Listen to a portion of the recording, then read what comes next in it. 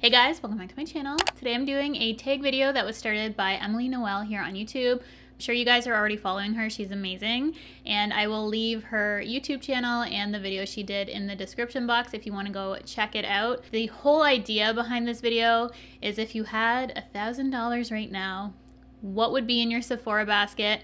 I know I'm super curious of other people's wish lists. It's just something that I've always been into our hauls clearly from my channel. You guys know I love a good haul and I actually have one with some Sephora stuff, a ton of other stuff coming up soon. So you will actually see a Sephora haul plus more and I think it's two videos from now. I just have to wait for everything to come in, but I've been hauling and I thought it would be so fun to jump on this tag because I have a wish list always going on. If money wasn't a factor, this is exactly what I would spend my money on for my $1,000 wish list basket. And if you're curious of what others would spend their money on as well, this is just such a fun video idea. I thought it was a great way to save a little bit of money and just do some window shopping. I always am online and putting stuff in my basket, not buying it, just seeing what I would purchase is just satisfying to me. I had to jump on this. I love a good haul myself. So if you are curious as to what I would spend a $1,000 on right now at Sephora, then keep watching. Put everything in my basket from my wish list. I have 19 items. I think it's technically going to be less than a $1,000 US. I didn't bother with the exchange rate figuring it out. I'm going to start off with three products that I would love to purchase right now that are all the same, but just different colors. And I'm saying this because I actually just purchased one of the products because budget. However, this video, not budget. It's a thousand dollars. It wasn't too hard to accumulate that much, but I knew exactly what products I would be purchasing. So I wanted to get all the other blushes of the new Patrick Ta that come with a cream and a powder because I purchased one, wearing it today, fell in love with the formula. I just want all the other blushes. if I had a thousand dollars, they'd be with me. However, I budgeted for one, so I actually have one here to show you, which is unique to the video because you're not going to be seeing the actual products in my hands considering it's in my wish list cart. But I want to start off with this first because honestly, you'll see this in my haul. I'll talk about it more there, but I fell in love with this formula. I've been wearing it every single day on my cheeks right now, and I just love the whole setup of this. You have the cream, which is covered by this little cover. Natasha Denona has similar packaging to this with those little flip covers on the cream to keep it so the powder doesn't go in, which I love. The powder is so pretty on top and the cream especially, this color is just perfect. I would wear it on its own, but I do kind of set it with the powder, which is a little bit lighter. The true beauty for me is the cream in this and I am so about creams right now if you guys watched my mid-year favorites. It's the year of the cream for me. I'm sure it is for a lot of people. So many cream products have been coming out and these are at the top. In terms of blushes and new releases, I feel like you'll really, really like these, especially if you like creams. It's just a fantastic formula. It gives you a beautiful flush to the cheeks. So back to my list. going on and on about that. But I have the other three on my list. So I have She's That Girl, which is the pink shade, which is actually the one I probably want the least because it's the most common in my opinion. The next one I really, really want is She's So LA, and it's the more bronzy tone. And there's a beautiful, really deep blush, which I think would be so pretty on even deeper skin. And it's Oh, She's Different, and it is so stunning. I haven't seen too many cream blushes like that tone and I definitely want to pick that one up. Even though it's a little deep for my skin, I still think I could make it work and I just love the tonal variety that he had for this collection and he also made it so it was monochromatic which I personally really like. They have lipsticks to pair and lip liners. I don't have any of those on my wish list. I did pick up one lipstick which you will see in my haul video but I had to go back and pick up those blushes if I had a thousand dollars for makeup right now. At the top of my list as well is the new Hourglass Veil Setting Spray. It's $62 Canadian, it's pricey. Initially when I saw someone test it, they weren't too blown away, but after that I've seen a lot of people say it's like Facetune filter in a can and so many people that usually I like their recommendations, have sworn by this setting spray. So that's definitely something I want to pick up. I'm like even considering getting it now once I remove everything out of my cart because this is a, a big total. In a perfect world, I would love to pick that up right now. As I said, the only thing that's holding me back is the price, but honestly, Hourglass products for me are one of my favorite. I always love the releases that they come out with, and I always end up usually purchasing them eventually. So I know at some point I'm definitely going to be getting the setting spray. So if you have tried it and you have similar taste in makeup to me, let me know your thoughts on that spray. And another face product that I had to mention. It's actually an Allure 2019 winner for a product. I didn't realize this, but it is the Saint Tropez Self Tan Purity Bronzing Water Face Mist. It's the summer. I have been actually self tanning my face with some of my regular self tanners, and it's been working out fine for me. I haven't broken out, haven't had any issue. Previously in the past, I would always break out to whatever tanner I put on my face. It just wouldn't react well. Right now my skin is good. so I wanted to test out this face mist. Face mist? Did I just say a mist? It's like a whisk and a mist. Okay, this face mist and everyone I've seen rave about this just says it gives a beautiful glow to the skin. It does lightly self tan your face and it's perfect for when you're not wearing makeup, which most days honestly I'm not, especially in the summer. I don't want everything to slip and slide and I'm at the pool. So I do want my face to match my body. It's not like in the winter when I don't care, but I would like my face to match my body. And everyone I've seen use this, their skin looks amazing. And I definitely want to have that bronzy glow to my skin, not have to wear so much makeup on my skin, just even everything out. And it just looks like a really easy product to use. So it is an Allure 2019 award winner, which promising to me because a lot of the times I do like the products that they recommend. Next, I have a product from Gucci. Finally got those lipsticks on Sephora Canada. They didn't have them for a while. Carol Beige, you guys know, absolutely love. That's not on my wish list, but I'm just giving you a little heads up if you haven't heard. Gucci is on Sephora Canada and we can buy their makeup. Very happy about that. So now they just launched the summer collection that includes bronzers, which you know absolutely love. And they launched Let's Check Out. I'm not sure which one I want. By default, I have medium in my cart just because tan is out of stock, but it was between medium and tan I wanted to pick up. So they have five bronzers. The packaging just looks so stunning and luxe. Like I can feel the weight of that packaging just looking at it. If it's anything like the lipsticks, I can just feel the luxury in that. No reviews on Sephora Canada right now and it's designed to deliver a luminous finish and natural glow, which is what I like. I don't like anything too matte and I don't like anything shimmery. I like a glow to my bronzer. I think that's the best sort of finish. I love trying out bronzers, so that is at the top of my list. But again, there's no reviews on it. It comes with a little brush, which I honestly probably wouldn't use, but I'd give it a test. If that's something that's on your list or you've actually have already picked up, please let me know. Do you think I would like it? Is it a good formula? Is it worth the $81 that it costs? So that's why it went into this cart. It's a pricey product. That's one of those things that it takes, you know, some working up to do for me. I don't just drop $81, let alone a thousand on a daily basis. So that high up on my wish list. Just wish the price was less. Also pricey, which I've also picked up a product of already, is another bronzer, but I wanted to give it a mention here because I honestly would pick it up having the budget for it. And it is the Charlotte Tilbury Airbrush Matte Bronzer in medium. I have the tan one right now. Medium looks super close to Marc Jacobs Tantastic. I haven't swatched them, but just by visual, I feel like they'd be kind of similar, and that's my favorite bronzer of all time. I've just been putting it off because I already purchased one. I don't want to pick up two if I don't have to. That's why it's on my wish list. In a perfect world, I'd love it to try it, but it's $65.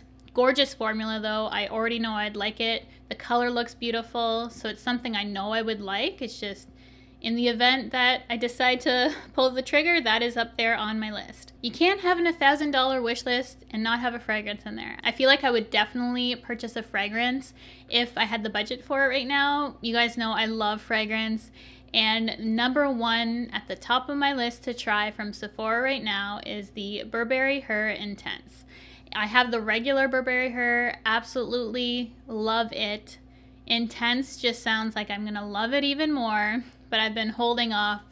You see my perfume videos, I don't need any perfume. So I was hoping that maybe they would do a sample at some point.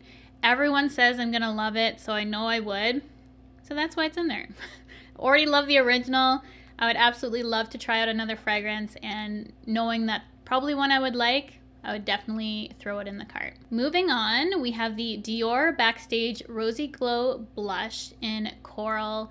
I've seen several people talk about this blush as a perfect blush for summer. I love the Dior Backstage collection. That's going to come as no surprise to you. If you have been following my channel, I purchased most of the releases when they come out, have yet to purchase this. It's $49 still pricey. I love the packaging. The formula, as I said, of the other ones is beautiful. I've had very great success. Couple products that I didn't quite care for from the second launch that they came out with, but from the people who I have heard trying out these blushes, I know I personally will like them. And the color is just spot on, perfect color for me. Like, it screams me. Coral is my favorite color. I would have to say. If I were to pick a color, I absolutely love coral. I have for years. It's been getting really great reviews. It has a four and a half star. Let's see. Infused with Color Reviver technology, this innovative blush reacts to the skin's moisture level upon application to deliver a customized rosy effect. The result is a natural, instant, healthy glow that lasts all day long.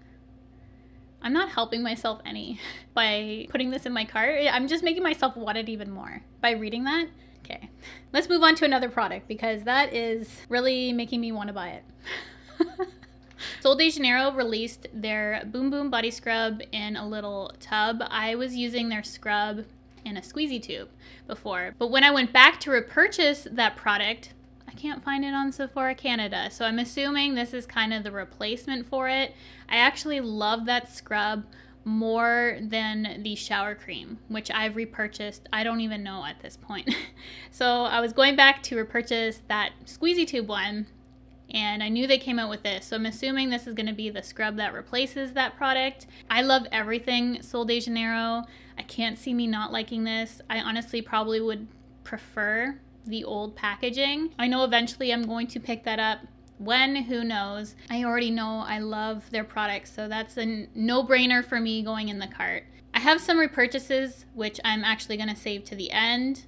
Most of the stuff is new that I want to try. And we have another product, which is something I've never tried before, anything in this category actually, and it's a hair mist. I don't have any hair mist. Shockingly, I don't and this is the Burberry Her London Hair Mist. I'm not sure if I would like the London as much as I would like either the original or the Intense in a hair mist.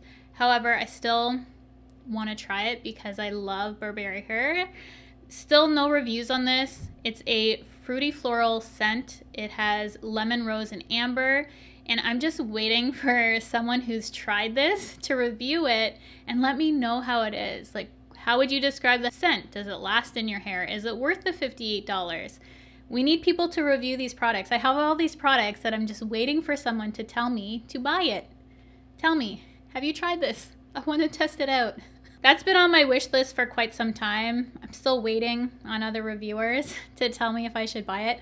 That's what I do for a lot of products. I wait for people to review things that I want to test out. Then Fenty Beauty launched a bunch of sheer lipsticks and one specifically caught my eye. I don't think the color will surprise you. It's the more nude tone one, but they look really pretty. They're $29 a piece and they're the Slip Shine Sheer Shiny lipsticks. And I have in my cart 04 Makeout Break. And I've seen a couple people try this on and it definitely looks like a color that I personally would really like. It's just if I want to spend $29 on a sheer lip product like that, I've been holding off on. Lip products don't draw me in usually because I have enough, I feel like. So it has to be something truly special. I kind of just threw that in because I'd like to try the formula ideally at some point, but it's not at the top of my list, you know? So let me know if you've tried that formula, if you think I would like it. It's very moisturizing. Maybe I would give it a try. And then I would love to try more makeup brushes. That's another thing that really gets me is a good makeup brush. Hourglass came out with their lighting edit brush and it's smaller than their powder one, which I just bought. Else that would have been on this list. You guys wait to see the haul. Wait. I'm actually really starting to like the design of double-ended brushes. Before, I would hate it because I would store my brushes differently. I would store them standing up, and now I have them all laying down in my drawers, which I much prefer. So it really doesn't matter dual ended now because I will lay it down, and it's actually better for me because I get the most use out of my dual ended brushes. I never thought I would just because of how I store it, and it would always bother me there was a brush on the other end, but because of how I store it now, I use them more than any other brush. I feel like that would be a good investment for me just because it's dual ended. I get use out of all the other ones that I've ever purchased more than any other brush. It is synthetic fibers, which I personally love more in a brush.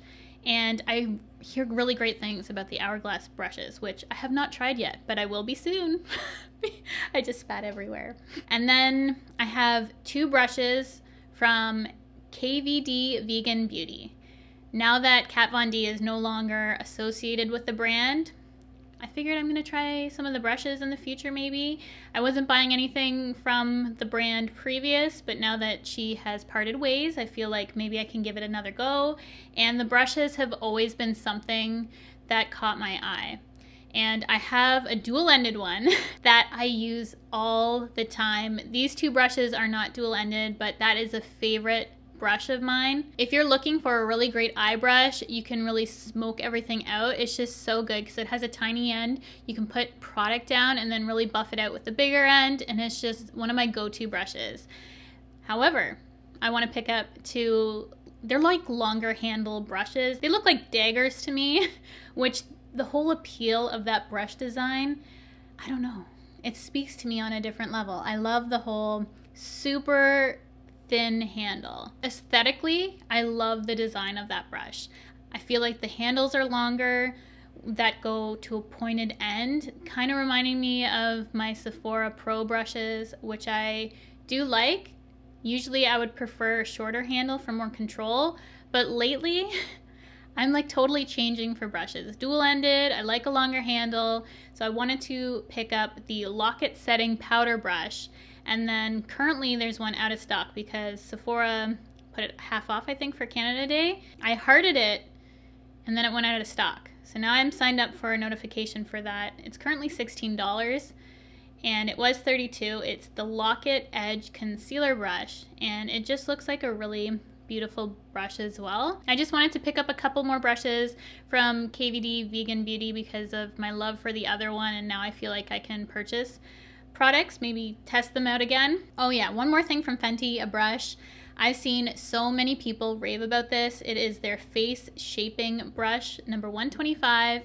I have a couple brushes from Fenty that I love, and this one, I just feel like I would love it too. It also has that kind of sleek handle design. It's pink, different aesthetic than the KVD one, but again, it has those synthetic fibers, which I feel like are better for creams, just better for the kind of makeup application that I personally like. They just work better for me. I love synthetic. I don't need another brush technically, but I just love collecting brushes and just finding the perfect brushes. That's the whole nother part of makeup to me. I don't know, just a beautiful, new, good brush. Nothing feels better to me, even more so than makeup products. A really nice brush Ah, just love it. Also, when you buy a new makeup sponge, it's something about it, you know? Is it just me? I love it. I do have one eyeshadow palette in here, and I've heard a couple people, specifically recently, Brit Clarke, talk about this in her mid-year favorites that we did together. If you guys haven't seen her video and mine, I will link them down below for you guys to check out, but we did a collab of our favorite products so far this year, and this was in hers, and I want it it's out of stock. It's $53 Canadian. It is the Artist Couture Supreme Nudes Impressed Pigment Eyeshadow Palette. And I have loved every single product I have tried from Artist Couture, which is rare for a brand for me to always love a product that they come out with. But so far, with the releases that Mac Daddy has done, absolutely love them. And this is another one that I definitely want to check out. Neutral palette, don't need it. So that's why if I had the money, I would purchase it, but it's not at the top of my list because I have eyeshadow palettes I reach for all the time. I don't wear eyeshadow every single day. I don't feel like I need any more eyeshadow. That's the thing. But it's been getting really good reviews. It has, again, four and a half stars doing really well on Sephora, out of stock too. So everyone's trying it out. The packaging of it looks super luxe and sleek. The black and gold, it's just my aesthetic all around. So definitely want to check out that. And then for my last two products, can put my phone down because these are repurchases and if I could repurchase them right now I definitely would but they're not high on my priority list repurchases right now aren't just because I have so much that I would like to use up before I go ahead and do that so I have recently run out of one of my Too Faced Born This Way foundations in the shade golden it's probably one of the foundations that is the closest match to my skin tone. So that is why I ran out of it. It was just such a perfect match. I was actually mixing that foundation in with my Urban Decay Stay Naked Weightless foundation, and the combination of those two foundations is magical. If I could create my own foundation, I probably would mix something like that together because it gave the Urban Decay a little bit more glow, didn't affect the wear, still had the perfectedness of it. The color made it perfect for me. That's why I want to pick up another one, just so I can continue to mix those foundations. So that is one that's on my list to repurchase eventually. And then also the Charlotte Tilbury Airbrush Flawless Finish Face Powder. I want to get another one of those. I have this little, you know what, I want to actually show you how small it is. This is so funny. I got this, I think it was like a deluxe sample or something from Sephora. So I haven't felt the need to repurchase this yet because I feel like I should use this little guy up first. Oh my gosh. Look at how baby it is. it's so tiny. So this is the Flawless Finish Face Powder in number two, which is the shade that I use. And I just honestly use this underneath my eyes, even though it's beautiful all over the face. But I'm not picking a full size of this up yet until I use this. I may as well use the samples I have. That's why I got them, right? So it is on my wish list to get because I don't think this will last very long. However, I wanted to show you this because I just thought it was so adorable and cute. Like they even made the little packaging for it too. Like, come on. That is everything for my Sephora $1,000 wish list basket.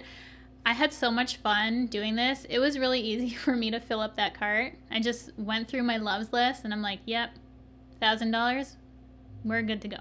and there's not honestly that much more I want right now. I was just putting in some repurchases at the end, but mostly it's things I haven't tried, things I feel like would make my routine or life or happiness better by picking up. Just some things that I have yet to try that makeup lover in me, beauty product testing lover in me just wants to try out, things I want to smell. It's just so interesting to see what someone would purchase from Sephora if they had a thousand dollars to spend right now. And that is everything that I would love to have right now. So I hope you guys enjoyed this video. Let me know your top three products.